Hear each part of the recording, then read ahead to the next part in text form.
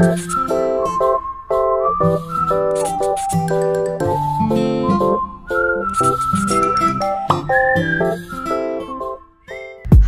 selamat pagi. Selamat pagi. Sekarang menunjukkan pukul 9 seperempat, 9.15. 19 dan kita aduh poni aku berantakan. Dan kita menuju ke rumah sakit hari ini jadwal eh kontrol aku yang ke ini kayak kontrol aku yang kelima deh selama kehamilan. Seneng banget hari ini ketemu bayi. Gak ada suaranya, doang. Pasti pasti ini pasti ini back back sound suaranya yang ye ada Aduh, ini kita baru keluar rumah. Kira-kira perjalanan dari rumah ke rumah sakitnya 45 menitan. ya? 45 menitan, semoga kita nggak telat. Karena kalau telat biasanya kayak kelempar lagi gitu nanti apa namanya em, antriannya. antriannya karena kita udah appointment dari dua hari sebelumnya. Bojo lihat deh muka aku. Kenapa kamu nggak kenapa kenapa? Kayaknya aku menggemuk. Kalau kamu mengurus malah aku marahin kamu. Kata bojoku sekarang aku bulat.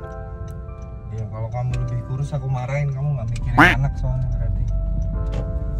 Jadi aku menggemuk. Harusnya menggemuk. Jadi menurutmu sekarang aku menggemuk? Iya. Kemarin-kemarin nggak berani tuh bilang kayak gitu.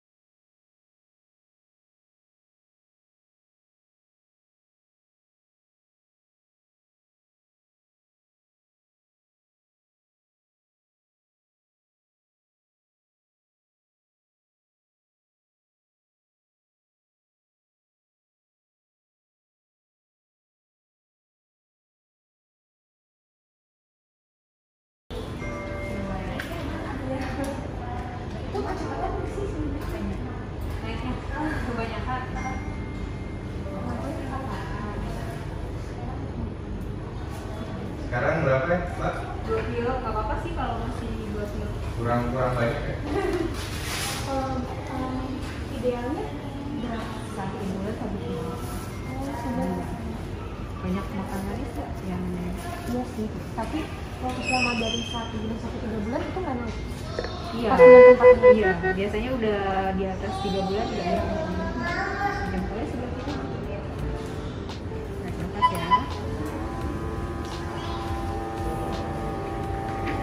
Nggak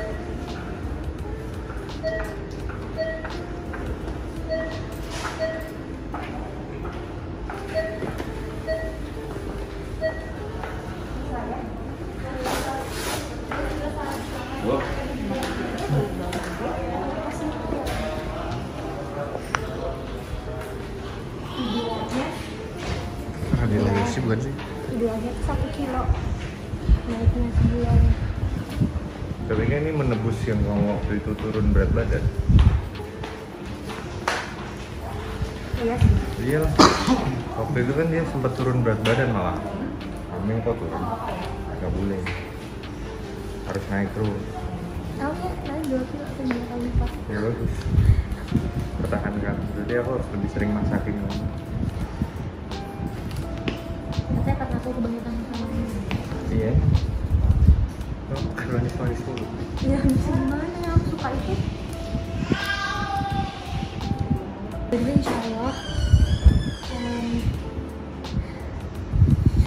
kontrol kita yang ini bakal ketahuan gendernya loh tapi karena kita pengen Anak laki-laki. Harus jauh. karena kita pengen bikin gender reveal jadi nggak dikasih tahu dulu cuman harusnya dikontrol kali ini tuh udah ketahuan doain ya semoga dia tidak munggungin lagi karena bulan lalu dia munggungin nggak kelihatan apa apa selain punggungnya. Semoga aja enggak. Tujuh keluar. Empat kosong. Dua. Hai Halo. Eh, nggak boleh masuk. Boleh. Nggak masuk? Bajunya matching banget ya. konsep Udah di setting ya. nggak pink lah Eh sama loh, saya juga abu-abu. Abu-abu, Wih, iya. Matching matchingnya abu-abu juga nih. Sepatu, sepatu. Gimana Bumil sekarang yang dirasa nih udah 4 bulan? iya Kemarin sempet itu ya swab antigen. iya Kenapa emang ada gejala atau Enggak. iseng aja? karena eh, saya orang kepanikan jadi tiap minggu sok aja Iya iya, iya. Biar ngejaga, orang, ya, uh, ya, semua. Bener sih. Eh, sekarang emang gejalanya mirip-mirip banget tuh. Batuk pilek itu biasa aja. Gejalanya apa nggak terlalu berat.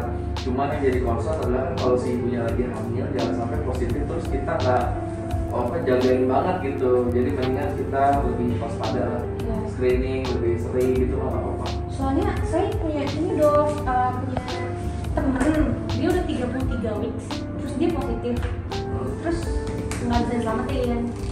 Apa jatuh anaknya Oh. anaknya nggak tahu jadi semenjak positif dia kayak kontraksi terus gitu katanya Iya. jadi kayak mendengar itu mendengar itu jadi kayak parno aja Ya, sebetulnya ya kalau si ibu hamil kena COVID sebenarnya itu tergantung sama kondisi bayinya itu tergantung sama gejala si ibunya.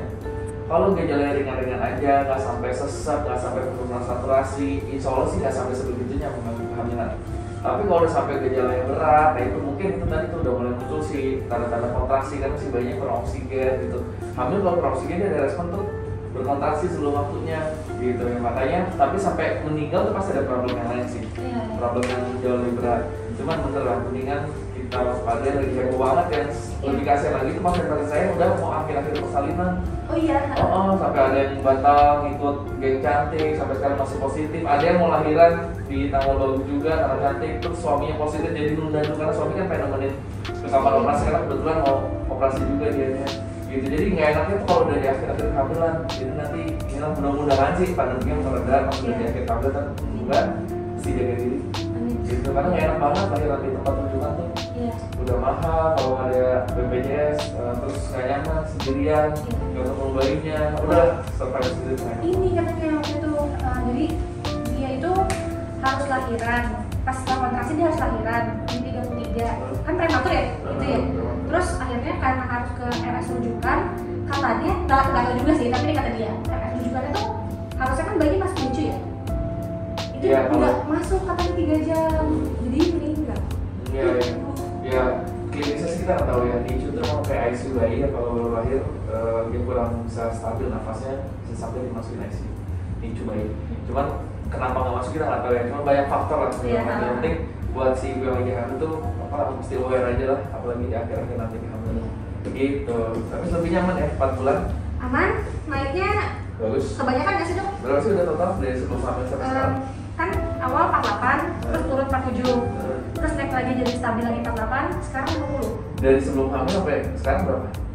Sebelum hamil 48 oh ya normal-normal aja lah berarti segini-gini aja lah. Tapi sekarang 50 nggak apa-apa. Nggak apa-apa. In total itu ibu yang sedang hamil, kalau kondisi klinisnya sebelum hamil nggak obesitas, nggak terlalu kurus itu peningkatan berat badan 11,5 sampai 12 kilo.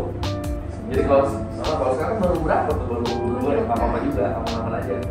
Slotnya masih banyak, bolanya masih banyak, iya, cuma iya. kan mesti dipantau karena ini masih awal-awal Iya. gitu tensi nanti juga oke ya udah kita tengokin lah yang bersangkutan Eh, apa ada permintaan dari Bu Ina nanti jangan dikasih tahu dulu Oh, iya, gitu iya. ya. Jangan dulu ya, oh, Oh, ya kalau udah tahu. berarti kalau saya tulis Tulis aja. Tulis aja. oh ditulis aja gitu di Iya nanti termasuk termasuk di sini juga. ya udah boleh tadi ada kertas ya kertas tulis di ini aja biar Boleh, tulis di- aja. amplop gitu nggak Usah. ya udah. Yuk langsung frekuensi jantungnya. Kita ukur frekuensi jantungnya. Frekuensi jantungnya normal. 149 kali per menit itu normal banget untuk usia hamilnya. Kemudian ketubannya ini nih. Ya ketubannya yang hitam ini. Jumlahnya banyak bagus placenta juga nih belakangnya nih. Placenta bagus ya nggak untuk penyaluran air Placenta tuh buat bantal dok. Bukan, placenta tuh kayak filter. Darah dari ibu bawa oksigen nutrisi masuk ke placenta. Dari placenta masuk ke tali pusatnya. Jadi kalau filternya bagus nggak ada sumbatan nggak ada pengapuran insya Allah suplai nutrisi dari ibu ke bayinya bagus. Jadi kalau placenta tuh kita lihat itu tuh ada nggak pengapuran terus bagian yang lepas atau letaknya nutupin nggak nih nggak ada ya oke lensa mata bagus nggak ada katarak bawaan bibir juga tidak ada sumbing. Eh, ketawanya dari mana? Eh, ini jari jari ini ini jari tangan kirinya kelingking manis tengah telunjuk. Kok bisa tahu sih? jempol Kan dokter, ada-ada aja. yang kirinya lengkap yang sebelah kanannya ini. Yang sebelah kanannya diumpetin di bawah kakinya. Jadi pereng sebelah kanan jadi jari kanannya. Ya di jantungnya hmm, tadi udah jantungnya aktif lambung khusus. Pencernaannya juga baik-baik aja nggak kan ya Tapi udah tahu ya dok. udah Oh, udah. Oh dia udah tahu. udah tahu. Apa tuh? Dia udah tahu. Wah dokter. Wah banyak merahnya. Enggak ada gue. Ini suka nih. Dari ibu ke bayinya. Gitu. Kamu katanya mau nanya. Boleh nanya nggak dok? Jangan dok, jangan dijawab ya dok. Ya dokter Sandi Prasetyo. betul. Siapa yang Vicky Prasetyo? tidak ada pak. Oh ya untuk ketemu dia juga sama tuh tapi teratin itu. Kayak gitu. Oh. Tadi saya disuruh nanya sama dia.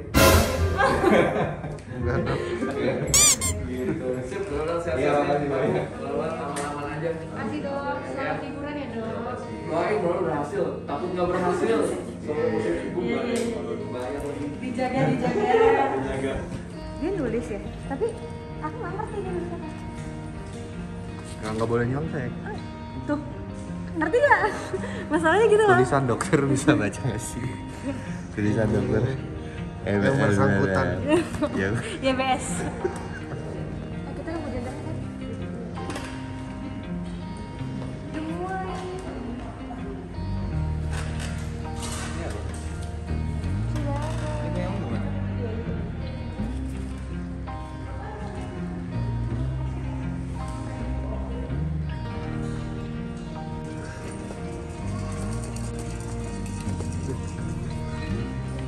Adalah part yang gua nggak suka.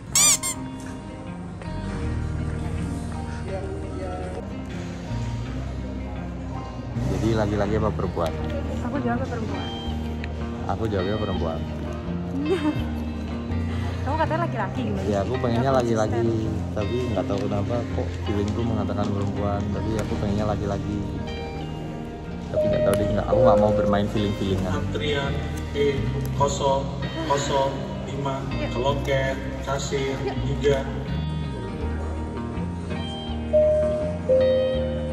antrian E 005 Dia naik sini aja.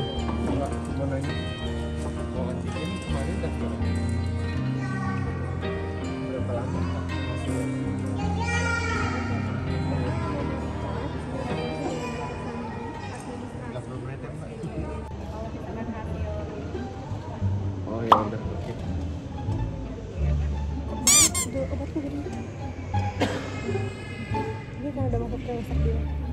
Tapi kamu nanya nanti ukuran obatnya penting tuh. Oh, nanti kan nanya di farmasi. Iya, nanya jangan lupa. Berarti harusnya ke farmasi dulu dong. Kan kalau kegedean bisa ditukar obatnya. Lu ke atas lagi. Yeay. Oh iya, aku sekarang dapat vitamin D gitu-gitu sih. Kok banyak? Pokoknya minta minta ukuran obatnya yang kecil aja biar nelennya gampang biar enggak.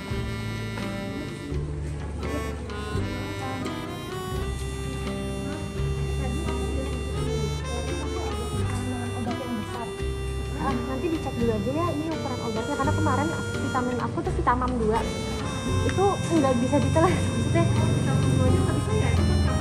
iya eh, bisa sih cuman kayak susah effort banget kak Jadi sih obatnya yang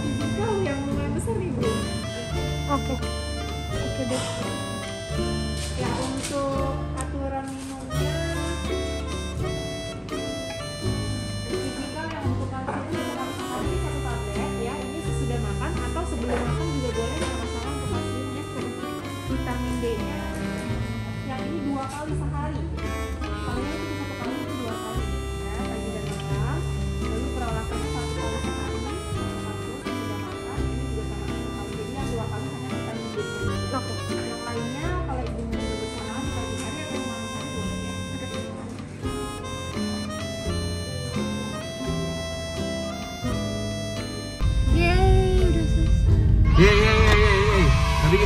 tahu gendernya apa karena nggak dikasih tahu sama dokter. ada di amplop ini Eh, nanti kita langsung serahin ke orang dekornya supaya mereka yang nyiapin buat acara gender reveal-nya beberapa hari ke depan. ya Jadi kalau mau tahu gender bayinya apa, lihat aja nanti di video selanjutnya. Oke? tapi kamu nebak apa?